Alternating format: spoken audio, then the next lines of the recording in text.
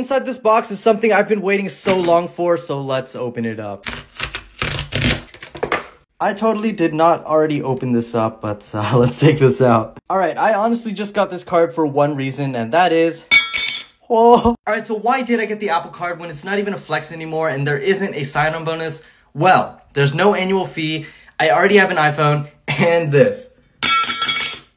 Also held my friend's card recently, it had some really nice heft to it, there's like a nice matte finish. I needed this thing.